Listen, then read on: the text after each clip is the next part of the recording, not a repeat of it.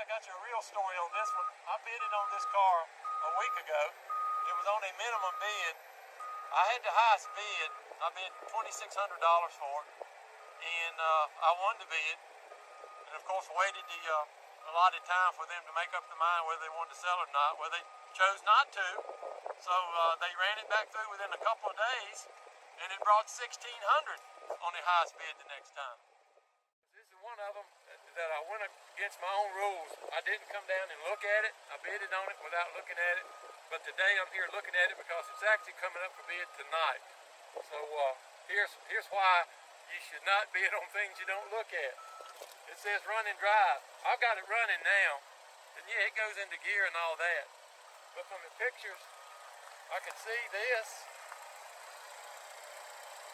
But I couldn't see all of that. The radiator support, the frame, and everything's been on it. It can be repaired, but not by me. And that's the way it looked on the uh, Copart site. But I still don't understand why they run it back through because it went from my 2600 down to 16 and I hope nobody bids over $500 for it tonight because you know what? It's not worth that. The Max is uh, spare only. There we are, Equinox at Dunn, North Carolina.